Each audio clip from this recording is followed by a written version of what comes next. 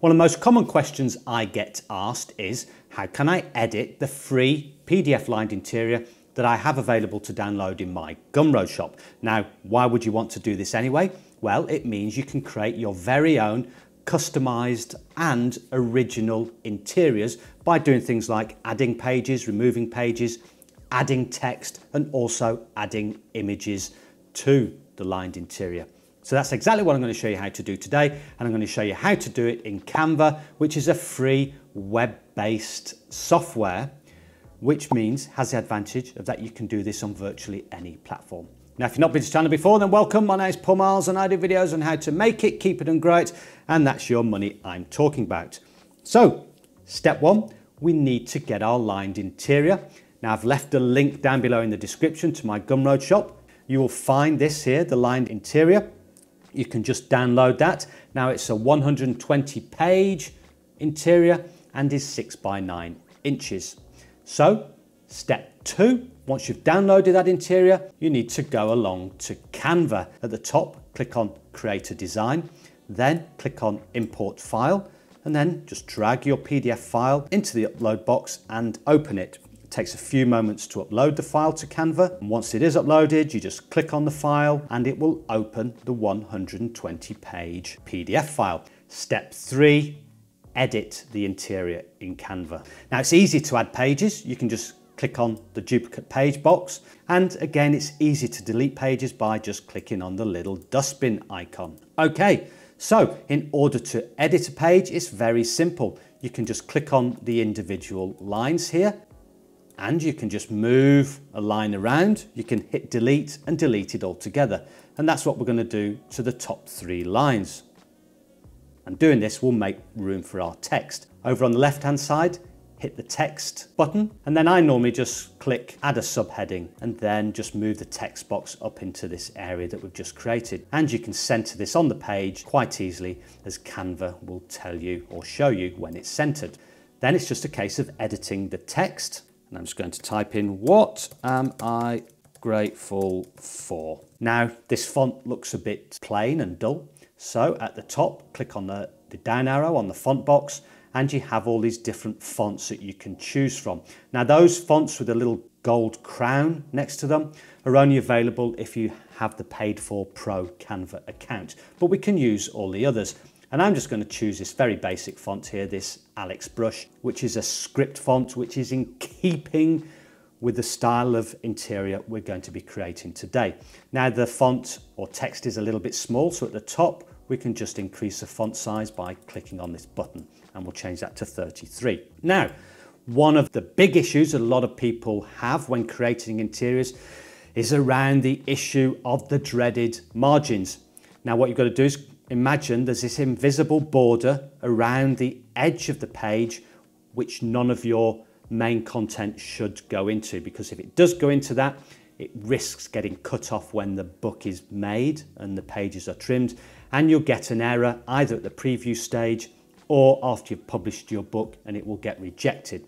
Simple way to overcome this is again, go to my Gumroad shop, scroll down a little bit and find these free KDP margin templates here. When you open that, you'll have all these options for different size templates and the left and right hand side templates. Now, this PDF file is a 120 page PDF file. It is six by nine inches and it has bleed because the lines go from one inch of the page to the other. So these top two files are the files we want. So you just click on download and it will download that particular template to your computer. Go back to our document. Then all you need to do, left hand side, click on uploads and then just drag in the template that you've just downloaded. And you can see I've already done this a number of times. Once it's downloaded, all you need to do is drag in the template to your document move to the top left corner, drag down to the bottom right hand corner and it will click into place.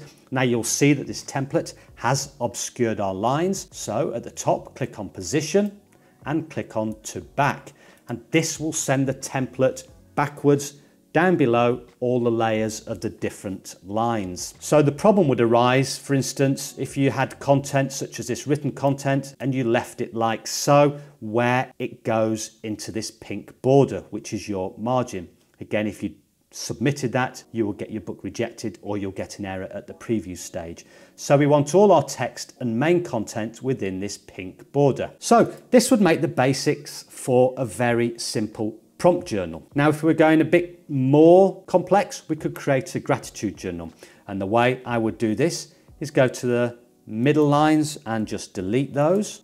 Again, text, add a subheading, move this so it's sort of equally spaced between the lines, write in something simple. What made me smile today? Change the text, change the font, go to Alex Brush and increase the size of the font to the same as the above text, which was 33. Now, we could customize this even more by adding an image. So on the left-hand side, if you click on elements, you've got all these free images that you could choose from. Click on see all, or you could upload your own image, which is what I've done. And I'm going to drag that across onto our page. to reduce the size, going to change the angle of that place it in the corner, making sure that it doesn't go into the pink border. Now this is a bit dark, so what I'm going to do at the top, click on transparency and turn the transparency down like so. And one last thing I'm going to do is just change the shade of the text. So you can do that by selecting the text, go to text color, and you've got options here. You can choose your own custom color, but I'm just going to reduce this to dark gray and same for the text here. That's our page all set up. Next thing to do is just to delete the template. So just select it and then hit delete and it's gone. So that's your first page created. So then you would need to go to the next page and go through the same process because each page would be different, obviously, because it's all going to have different text on there. And then once you've done that for all the pages you want, it's then just a case of hitting on share, clicking download, click the down arrow, click PDF print and download the PDF to your computer, which is then ready to upload to KDP and publish on Amazon. So that's a simple way of modifying this lined interior and you can take this as far as you want and create all different types of interiors. Now, if you are new to this whole KDP no content and low content book publishing, then I would suggest watching this video next where I run through all the steps in creating uh, a cover and interior for your book, which you're ready to publish on Amazon. Thank you very much for your time. It is very much appreciated. Don't forget to hit the subscribe button and until next time, goodbye.